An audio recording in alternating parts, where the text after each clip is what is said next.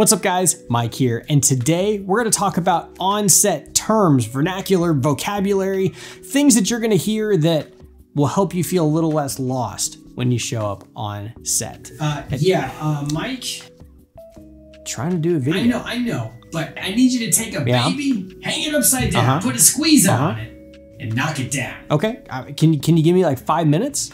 Okay? I'm, I'm doing a thing. Ah, yes, yes, I can I can wait. Let's get to it.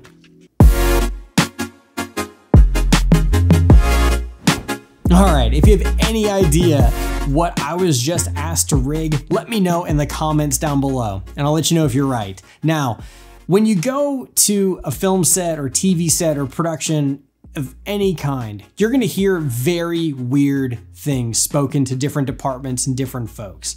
Now, this isn't someone just trying to mess with you, you haven't knocked your head or anything like that. People just call things very strange things in video production. It's just, it's just the nature of the business. It's kind of fun, but also can be a little weird because, you know, hanging a baby upside down can maybe catch somebody just a little off guard. So what we're gonna do here is give you just a quick little reference of video production terms that you're most likely to hear so that you can have an idea of just what's being talked about. So the very first thing is a call sheet. Now, this one's pretty basic, but what a call sheet is, is it gives you a full schedule for the day. It also gives you locations for the actual location of the shoot, locations for hospitals, phone numbers to reach people, everybody in the department, their contact information, and also call times for each department so everybody knows when they need to be on set. Sometimes you'll see a general call time, but you may also want to be sure that you or your department doesn't have an earlier call time. More often than not, crew will be there way before other members of the team. So always check the call sheet, read it from top to bottom, and just make sure you know where you need to be, that you know the address, and you have a couple phone numbers of people you can reach if you either get stuck in traffic, get lost, or if you just need to ask for a little bit of help getting directions. All right, another thing that you'll hear is people over their headsets saying walkie check.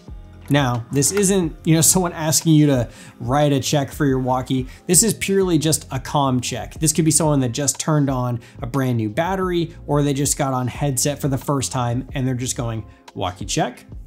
Then someone on the other line would say, you know, "G- good check, go check, or um, good, or we got you, things like that, just to let you know that they have been heard and that their walkie is on the correct frequency, or that they're at the very least on the same line as somebody else. And they can find out if they're on the main party line, which is another term for the main line. Everybody is on there. Typically, you'll have different channels for different departments. PAs will typically be on one channel all day, different crew will be on another, and then there's one main open line, usually for producers or other people in production that are just listening in to everybody's comms all day just to get a general feel on how everybody's doing. So if you ever hear somebody call walkie check, they're just checking to see to make sure that their walkie is actually working. Copy.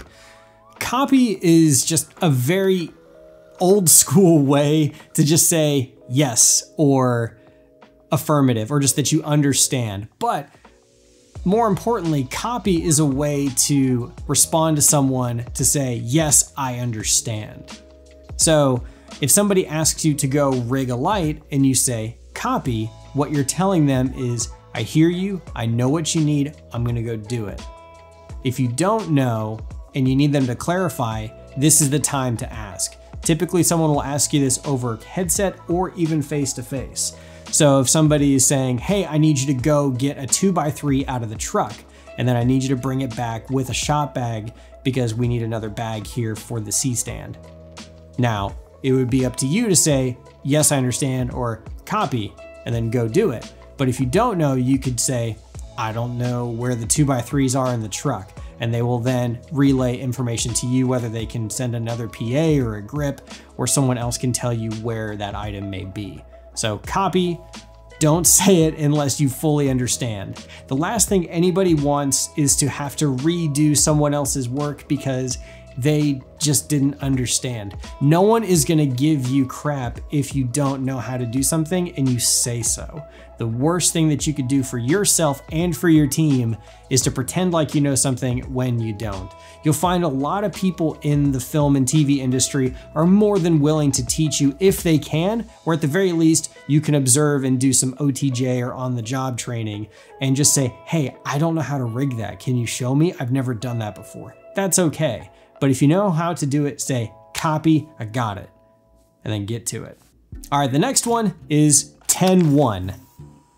This is very important. This is when you need to go pee. it's a very discreet way to tell other people on production that you need to take a break, that you need to go to the bathroom.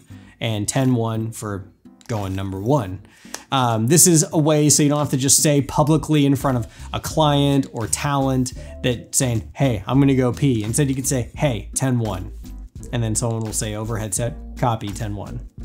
And they'll know that you're gonna be going to the bathroom. That way, if someone's looking for you, they could say, hey, where's Mike? Oh, 10-1. Like, oh, okay, cool. That way they can have a rough idea of where you are and when you're gonna be back. And this leads us to our second one, 10-2. 10-2 is, uh, it's when you need to take a poopy.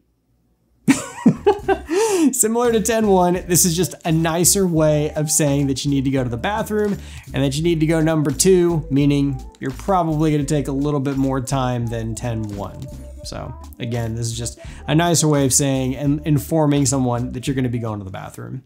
All right, martini. Now, there may be chances when you're on productions when there might be drinks or beers or something to celebrate after a long day, but Martini isn't just code for, all right, cool, let's get hammered. No, no, no. Martini is the uh, AD giving the call for this is the last shot of the day. This is the martini shot. It's kind of a, an old callback to like, all right, cool, when we're done, it's time to go have happy hour because the day is done. This is the last shot, let's get it. So if you ever hear someone calling, hey, martini next, it's letting everybody know that this is gonna be the last shot of the day. And after that, we'll be shot out. So when you hear martini, last shot of the day. It's a good thing to hear, especially when it's been a very long day. All right, another thing that you may hear early in your career is clear the frame. This is a very kind way of saying, hey, you're in the shot always be mindful of where the lenses are pointing because the last place you want to be is in the shot when everybody's about to roll. So if you ever hear someone clear frame, this is a kind of way of letting everybody know, hey, hair and makeup, PAs, grips, everybody, ACs, get out. We are ready to roll. Clear frame. All right, this one, similar to Martini, is called the Abby or the Abby Singer. This is the second to last shot of the day. So if you ever hear someone saying, all right, next shot is Abby, or next shot is Abby Singer, this is letting you know that you're reaching the end of the day. So you have only this one and then Martini, and you're good to go. So if you ever hear someone call out on the call sheet, hey, next shot Abby, you know, you're almost there. Hot set. Now, if you ever hear someone call hot set, it means everything has been placed on set. Don't touch it. This means props are in place, talent is in place, that it needs to stay this way because of continuity and there's gonna be a lot of angle changes and things should not be messed with. This is very important. If you ever hear hot set called, don't touch a thing unless you are told to. then go touch it and adjust it. But do your best to not mess with anything on set because the last thing you want to do is piss somebody off because you just totally screwed up continuity and they need to restart the whole blocking process. That would suck. All right, the next one is stinger. This is just another term for an extension cord. Nothing fancy here, but it is a term that I heard very early on and was pretty confused by. I was like, is this like a whip? What's a stinger? And it's just it's just a power cord. That's all it is. It's just it's just a power cord. It's just what it's called. All right, another weird one as well is a C-47. Now, I'm a World War II buff. My first thought when I heard a C-47 is an airplane for paratroopers. because I, I loved Band of Brothers. So, but when I hear C47, it's like, why are why is there an airplane on set? It's not that. It is a simple wooden clothesline pin or clothespin. And people will use C47s to clamp diffusion or gels to barn doors on lights, or even just to pin some clothing back on a talent so that way their clothes maybe feel a little bit tighter, maybe it's a little baggy, or you can maybe attach them to other people's clothes if you wanna, you know, mess with an intern or something like that. All right, another term you could hear on set is striking. Striking is a term you will hear when you are about to ignite a light for the first time. So this could be a light that has just been plugged in and you're just notifying crew and talent, don't look in my direction. There's about to be a very bright light in your face. It's just, it's just a, it's just a nice thing to do. Now, this isn't meaning you're gonna like smack it or beat it with a stick. This is just letting somebody know that the light is gonna turn on and it's gonna be bright. You probably don't wanna look at it. So it's just a nice courtesy to let everyone know. All right, another term is room tone. Room tone is typically a call out you'll hear from the audio department or the A1 or the A2. This is typically when a recording is gonna be made of just the room. No one speaking, just how the room sounds.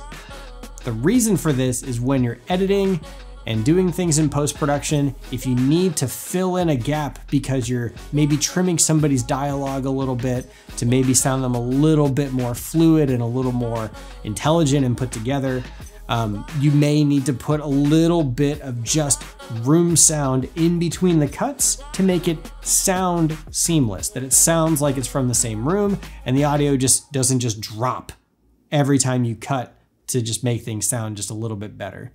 Back to one. Back to one is a very quick call out. Usually you'll hear this from the AD or even the director, letting you know that it's time to reset to our first position. This is to notify talent, crew, and anybody that could be moving or there could be any changes in the scene. It could be a long take. This lets everybody know that you're gonna get ready to start back from first position and you're gonna go again. You'll hear this when there's a lot of movement or that it could be just a really long take and it's time to reset and go again. Another reason you can have a call out for back to one is maybe you're only using a single camera and you need to get a second angle. Back to one lets everybody get back to first position and now allows for an alternate angle for a slightly different take. Slate and clapper. A slate or a clapperboard is used for a variety of purposes. It can be used to sync audio across multiple different devices, whether those are on-camera audio devices that aren't sunk through timecode, or it could be syncing with a dual system recording option where you're recording on the camera, but you're also recording audio somewhere else to help sync up in post. There will also be helpful info in the front, such as the name of the production, the director, the camera, is it inside or outside, what take, what roll, all that good stuff. This is all to help within post and help with syncing. Video Village. Video Village is where you'll typically find your directors, your producers, hair and makeup when production is rolling. This is where they can see all the different camera angles with monitors and uh, color scopes and being able to see how things are looking throughout the shot. This is something as simple as a singular monitor tucked away in the corner, or it can be a full tent with, you know, 10 to 15 different camera angles and multiple different producers and line producers taking notes and making sure that everything gets hit and nothing gets missed. This is where you'll find where most of the higher ups involved in production most likely will be congregating and living in Video Village. It's also the best way to get a quick look at how all different shots are shaping. So let's say you're lighting or rigging and helping out with a scene. If you're on your way back and you're able to just walk by Video Village, it's a quick way to see how everything is shaping up. It's kind of fun to see how things are looking. Alrighty guys, those are some of the onset terms that I think will help you feel just a little bit less lost, and I hope you found it helpful. If you liked the video, feel free to give it a thumbs up and share it with somebody that you think might enjoy it or benefit from it. And if you enjoyed content like this, feel free to subscribe. We do post a video every single week about filmmaking, storytelling, content creation, and everything in between. And if you have any questions about some of the stuff that we discussed, or you just want to talk about it some more, you can leave a comment down below. We also stream on Twitch three nights a week. You can find links to that in the description down below. And until next time, I'll see you in the next video.